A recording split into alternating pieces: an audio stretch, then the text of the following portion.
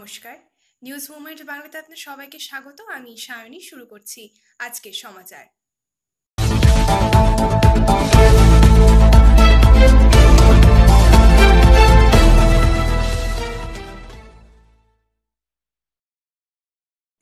প্রথমেই চোখ রাখব করোনার আপডেটসের উপরে।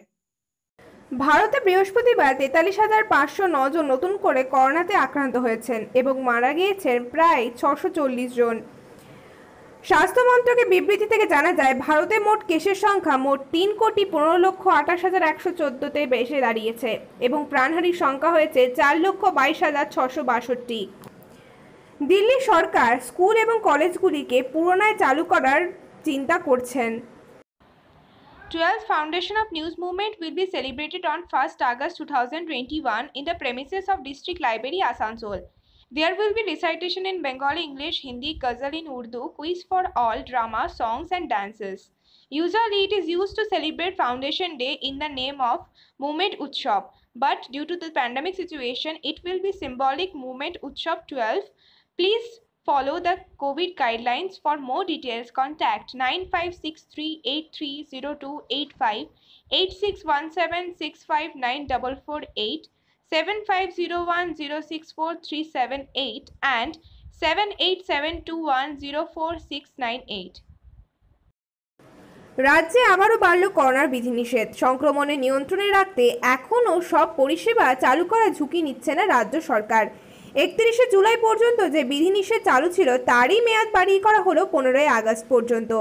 আজ বৃহস্পতিবার সকালে নবান্ন থেকে সেই বিজ্ঞপ্তি জারি করা হয়েছে।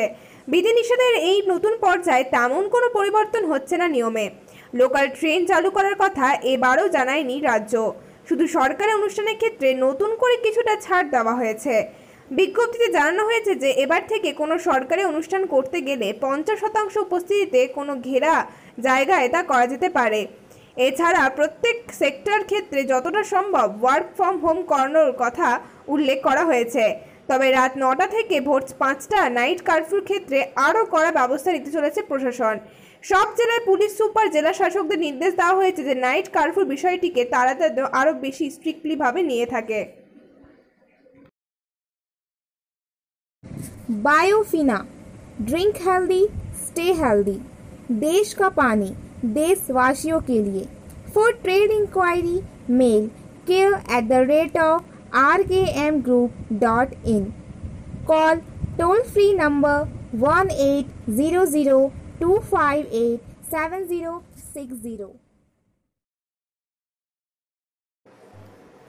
আজ মহানবমীর মন্দির চত্বরে আসানসোল সাথী ফাউন্ডেশন কর্তৃক স্বাস্থ্য সচেতনতা এবং মাস্ক বিতরণে একটি কর্মসূচি অনুষ্ঠিত হয়েছিল এই উপলক্ষে আসানসোল পৌর কর্পোরেশন বোর্ডের চেয়ারম্যান অমরনাথ চ্যাটার্জি, অরুণ শর্মা এবং বোর্ডের সদস্য পুনশশী রায় উপস্থিত ছিলেন।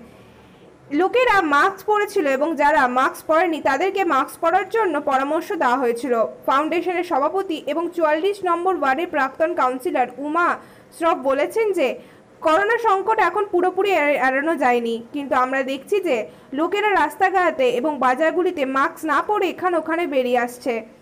করোনার তৃতীয় ওয়েভ আগমনের আশঙ্কা রয়েছে। তাই আমরা এই শিবিরটির আয়োজন করেছি এবং অন্য জায়গায় একটি শিবির স্থাপন করে লোকেদেরকে সচেতনও করা হবে। তিনশো জন এন নাইনটি ফাইভ জনগণকে বিতরণ করা হয়েছিল। এ উপলক্ষে ফাউন্ডেশনের পক্ষ থেকে বিমল জলান, জিতু সিং, দিলীপ ভগত, মুকেশ ঝা, মুকেশ শর্মা, মধুমিতা দাস, সানি বার্মা এবং সুরেশ যাদব প্রমুখেরা উপস্থিত ছিলেন।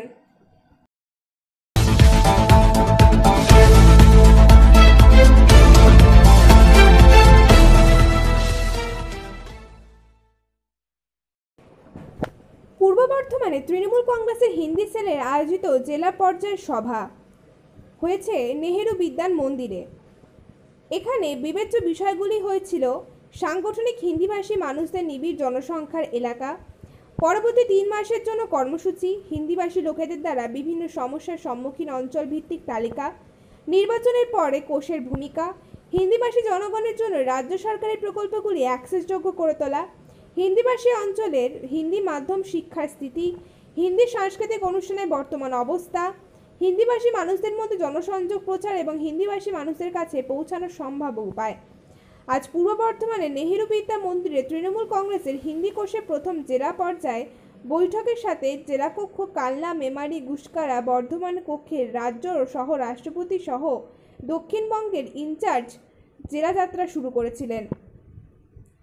উপস্থিত ছিলেন বর্ধমান এবং গ্যালিসিয়ার প্রতিনিধি দল। সাংগঠনিক সরকারি প্রকল্পে এবং ভাষাগত সাংস্কৃতিক শিক্ষামূলক ইস্যুতে হিন্দি বক্তাদের অংশগ্রহণ নিয়ে বিস্তারিত আলোচনা করাও হয়েছিল।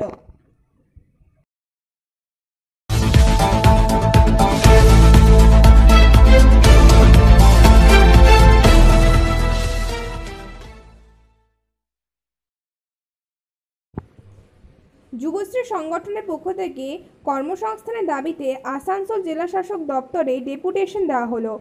উনত্রিশে জুলাই বৃহস্পতিবার পশ্চিমবঙ্গ যুবশ্রী এমপ্লয়মেন্ট ব্যাংক কর্মপ্রার্থী সমিতির পশ্চিম বর্ধমান জেলার কমিটির পক্ষ থেকে যুবশ্রী প্রকল্প থেকে কর্মসংস্থান সহ বিভিন্ন দাবি দাওয়া নিয়ে জেলা শাসক দপ্তরে দাবিপত্র পেশ করা হয়।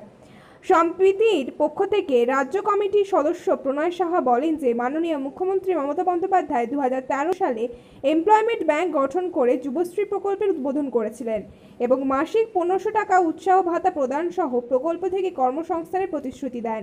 কিন্তু দীর্ঘ সাত বছর অতিক্রান্ত হয়ে গেলেও এই প্রকল্প থেকে প্রায় কারোরই কর্মসংস্থান হয়নি। এই দাবিতে রাজ্য জুড়ে যুবশ্রী আন্দোলন গড়ে উঠেছে। বেকার যুব সমাজ বর্তমান করোনা মহামারীতে অসহায়ভাবে দিন কাটাচ্ছে। এই পরিস্থিতিতে কর্মসংস্থানের আশায় মাননীয় জেলা শাসকের কাছে জেলা সংগঠনের পক্ষ থেকে মীরা মণ্ডল অনিমেষ রায় স্বপন মুন্সি সহ এক প্রতিনিধি দল আবেদনপত্রকে দাখিল করেন सफलता की शुरुआत सिर्फ मोशन के साथ motion open scholarship test for class seventh to twelfth student get up to 50% scholarship for session 2021 to 22 at Durgapur. And for more details, please contact 9434 Bharat scouts O guide দ্বারা তিন দিনের ভার্চুয়াল ইউথ কারিকুলাম হয়েছিল যা ছাব্বিশ সাতাশ এবং আঠাশে জুলাই করা হয়েছিল। পূর্ব জোনের সহকারী পরিচালক বাবলু গোস্বামীর নির্দেশনায় যার মধ্যে সমস্ত রাজ্য যুব কমিটি জাতীয় শিক্ষানীতি বিবেচনায় রেখে ইউনিফর্ম পরিবর্তন স্কাউটিংয়ের সিলেবাসের বিষয়ে বিশেষ অবদান রাখে। পশ্চিমবঙ্গ যুব কমিটির সভাপতি রাহুল রুংদা এবং সহ রাষ্ট্রপতি জ্যাসমিন আরা সহ কমিটির সদস্য দেবাশিস দত্ত, সুইটি শাহ, ধীরেজ সিং, বিকাশ নুনিয়া অংশ নিয়ে পশ্চিমবঙ্গে প্রতিনিধিত্ব করেছিলেন, যা পশ্চিমবঙ্গ ভারতের স্কাউটস ও গাইডদের জন্য গর্বের বিষয়।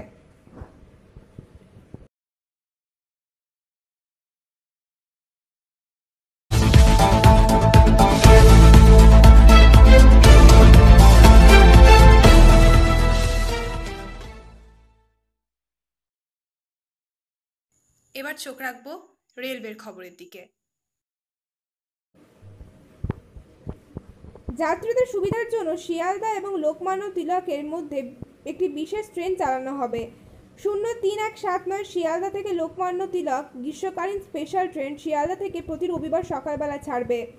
শূন্য তিন এক আট শূন্য লোকমান্য তিলক থেকে শিয়ালদা গ্রীষ্মকালীন স্পেশাল ট্রেনটি লোকমান্য তিলক থেকে প্রতি মঙ্গলবার সকালবেলা ছাড়বে। উভয় ট্রেনই ডানকুনি হয়ে যাবে।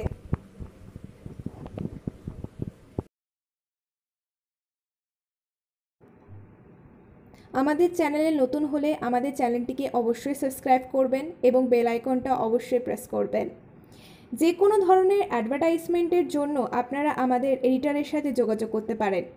আমাদের এডিটারের সাথে যোগাযোগ করার নাম্বার হলো nine five six three eight three zero two eight five. NS রোডে আসানসোলে উত্তর ব্লকের একের নিকটে তৃণমূল কংগ্রেস এবং নাইটুন হট সম্মিলনী যৌথ উদ্যোগে রক্তদান এবং বিনামূল্যে হেলথ চেক আপ ক্যাম্পের আয়োজন করা হয়েছিল। একই সাথে কয়েকশো লোকের মাঝে ছাতা বিতরণও করা হয়েছিল। শিবিরটি যৌথভাবে উদ্বোধন করলেন কর্পোরেট ব্রডকাস্টার অমরনাথ চ্যাটার্জি, উত্তর ব্লক একে তৃণমূল কংগ্রেসের সভাপতি গুরুদাস চ্যাটার্জি, রক্তদান আন্দোলনের নেতা প্রবীর ধর, রক্তদাতাদের শংসাপত্র দেওয়া হয়েছিল। এই উপলক্ষে কুড়ি জন রক্তদান দিয়ে করেছিলেন। একই সময় প্রায় শতাধিক লোক তাদের চোখ পরীক্ষা করিয়েছে। গোপাল বিজয় বর্গিয়া, শহীদ পারবাজ গৌরীশঙ্কর দাস, রাজু সাউ, সুগম পাল, বকেশ্বর নাগ, অপু দে, চন্দ্র আচার্য প্রমুখেরা এখানে উপস্থিত ছিলেন।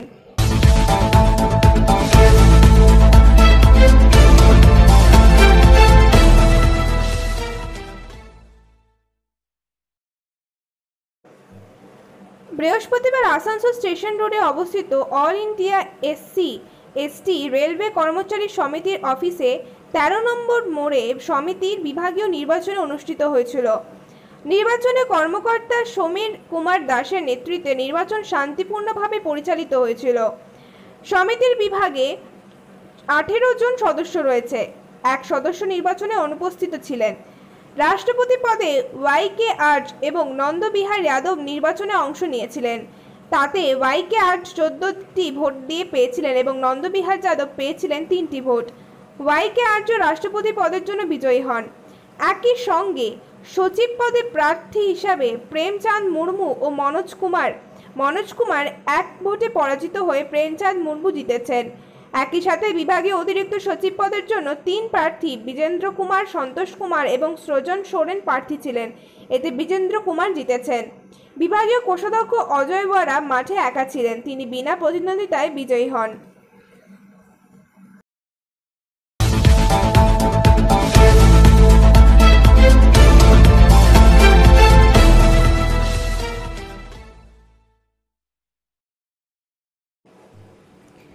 টোকিও অলিম্পিক্সে দু হাজার একুশের সপ্তম দিনের খেলা চূড়ান্ত ভালো হয়েছে। যখন ভারতের পিভি সিন্ধু ডেনমার্কের মিয়া বিলচফেল্ডকে হারিয়ে কোয়ার্টার ফাইনালে উঠেছে, তারপরে ভারতের পুরুষ হকি দল রক্ষণকারী চ্যাম্পিয়নদেরকে পরাজিত করেছে।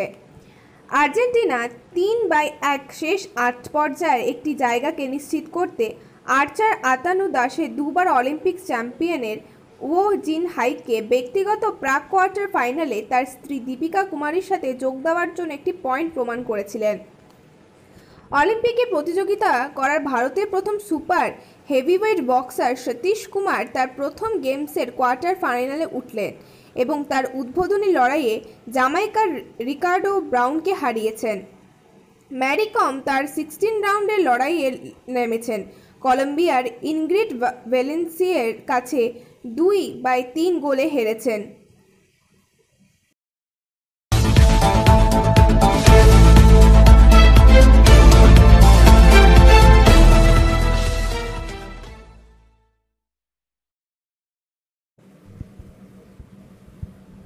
শ্রী সুমিত সরকার বিভাগীয় রেলওয়ে ব্যবস্থাপক আসানসোল জামতারা স্টেশন পরিদর্শন করেছেন এবং নতুন ফুট ওভার ব্রিজের নির্মাণে অগ্রগতিকে পর্যালোচনা করেছেন। তদনুসারে সংশ্লিষ্ট কর্মকর্তাদেরকে তিনি নির্দেশনাও দিয়েছিলেন। বিভাগীয় রেলওয়ে ম্যানেজার জামতারা স্টেশনে সিসিটিভি নজরদারি ব্যবস্থাও পরিদর্শন করেন এবং জামতারা স্টেশনে সিসিটিভি কন্ট্রোল রুম দেওয়ার নির্দেশ দেন। সুমিত সরকার, বিভাগীয় রেলওয়ে ব্যবস্থাপক বিদ্যাসাগর স্টেশনটি পরিদর্শন করেছিলেন এবং পণ্ডিত ঈশ্বরচন্দ্র বিদ্যাসাগর এর মৃত্যুবার্ষিকী উপলক্ষে বিদ্যাসাগরের নন্দন কানন বাগানে তার প্রতিমাতে পুষ্পস্তবক অর্পণ করেছিলেন। মধুপুর বিভাগীয় রেলওয়ে ম্যানেজার আসানসোল বাণিজ্যিক তত্ত্বাবধায়কদের সাথে একটি যাত্রা ও পণ্য পরিবহন আইটেমের উপর আয় পর্যালোচনা করার জন্য একটি বৈঠক করেন এবং স্টেশন চলাকালীন অঞ্চলে উন্নয়নমূলক কাজের অগ্রগতি সম্বন্ধে অনুসন্ধান করেন। গিরিডি বিভাগের রেলওয়ে ব্যবস্থাপক গিরিডি স্টেশনের বৈদ্যুতিক ইন্টারলকিং প্যানেল রুম এবং নতুন অফিসার রেস্ট হাউসের নির্মাণ কাজ পরিদর্শন করেছেন। বিভাগীয় রেলওয়ে ব্যবস্থাপক আসানসোল মধুপুর গিরিডি বিভাগের সুরক্ষার দিকগুলির আইন এবং পরিষ্কার পরিচ্ছন্নতা যাত্রীদের সুযোগগুলি পরিদর্শন করেছেন। বিভাগীয় রেলওয়ে ব্যবস্থাপক সকল সংশ্লিষ্ট কর্মকর্তাকে সময় মতো উন্নয়ন এবং সংস্কারের কাজ শেষ করার জন্য প্রয়োজনীয় পদক্ষেপ গ্রহণের পরামর্শ দেন। শ্রী সুমিত সরকার বিশেষ ট্রেনগুলির রক্ষণাবেক্ষণ এবং যথাযথ পরিষ্কার পরিচ্ছন্নতা ও স্যানিটাইজেশনের পাশাপাশি ট্রেনের সুরক্ষা ও অপারেশনাল সুবিধাগুলির বিষয়ে কোনো রকম আপোষ না করার জন্য সংশ্লিষ্ট কর্মকর্তাদেরকে নির্দেশনা দিয়েছেন। এই পরিদর্শন কর্মসূচিতে জনাব এম কে মিনা, অতিরিক্ত রেলওয়ে ব্যবস্থাপক। জনাব এস বি সিং, সিনিয়র বিভাগীয় operation manager. Mister S Chakraborty, senior বিভাগীয় বাণিজ্যিক ব্যবস্থাপক। মিস্টার কুমার, সিনিয়র বিভাগীয় প্রকৌশলী। সমন্বয়ে শ্রী খুরশিদ আহমেদ সিনিয়র বিভাগীয় বৈদ্যুতিক প্রকৌশলী TRD Shri S Biswajit senior বিভাগীয় যান্ত্রিক প্রকৌশলী, Shri C M Mishra senior divisional security commissioner, Shri Amaresh Mohan senior divisional engineer two, Shri Ajay Kumar senior divisional electrical engineer general, Shri Manish senior divisional finance manager, Shrimati E S Simik senior divisional personal officer Shri A K Das, senior বিভাগীয় সুরক্ষা কর্মকর্তা Shri A K Jinnah senior বিভাগীয় বৈদ্যুতিক প্রকৌশলী, ওপি এবং অন্যান্য কর্মকর্তা senior সুপারভাইজাররা উপস্থিত ছিলেন।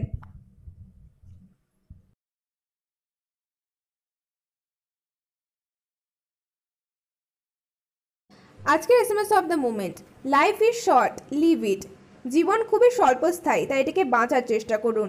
Fear is natural face it ভয় একটি প্রাকৃতিক ব্যাপার, তাই এটি সামনাসামনি করার চেষ্টা করুন। Memory is powerful use it আমাদের স্মৃতিশক্তি খুবই শক্তিশালী, তাই এটাকে ব্যবহার করা ভিডিওটি যদি আপনাদের পছন্দ হয়ে থাকে, তাহলে আমাদের চ্যানেলটিকে অবশ্যই সাবস্ক্রাইব করে বেল আইকনটা প্রেস করবেন, যাতে আমাদের যদি নতুন কোনো ভিডিও আপলোড হয়, তাহলে সবার আগে আপনাদের কাছে সে বিষয়ে নোটিফিকেশন চলে যায়। সাথে সাথে ভিডিওটি অবশ্যই লাইক করবেন কমেন্ট করবেন এবং শেয়ার করবেন। ধন্যবাদ।